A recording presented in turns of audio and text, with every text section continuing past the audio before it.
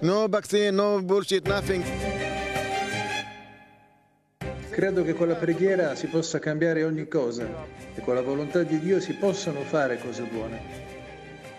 Gerusalemme è un mosaico di civiltà, di religioni, dove ognuno segue fedelmente e rigidamente il proprio stile di vita. Come gli ebrei ultraortodossi, che sono il 12% della popolazione israeliana. Per loro Dio è più forte dei vaccini. I'm afraid only from Hashem. No, non ho fatto il vaccino perché mi fido di Dio. Dio è più forte del vaccino. Studio la Bibbia 12 ore al giorno. Questo che vedete alle mie spalle è il muro del pianto, al di là c'è la cupola della roccia, sono i due luoghi fondamentali per due delle religioni più importanti al mondo, l'Islam e la religione ebraica. In uno spazio ristretto si costringe una convivenza forzata, difficile, complessa e spesso vulnerabile.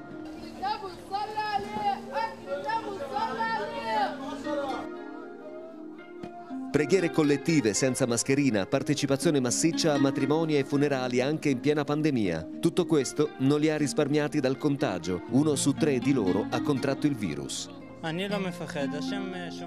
Non credo che Dio voglia che io abbia paura del virus. Ci protegge da tutto. Egli può cambiare tutto e ci porterà presto alla redenzione. Li incontriamo tra le strette vie della capitale contesa, tra ebraismo e islam. Tra un checkpoint di controllo e un altro ci spiegano qualche particolare del loro abbigliamento. È ordinata dalle leggi della Tora per non dimenticare Dio e proteggere dai demoni e mostrare agli altri che sei ebreo. Il Ministero della Salute israeliano ha un intero dipartimento che si occupa solo di loro, cercando di sensibilizzarli a seguire le norme anti-Covid. Ma c'è ancora molto lavoro da fare. No, no, no. No. No, never. Non ho fatto il vaccino e non lo farò mai. Non ho paura del virus perché Dio è l'unico. The one. Only the one.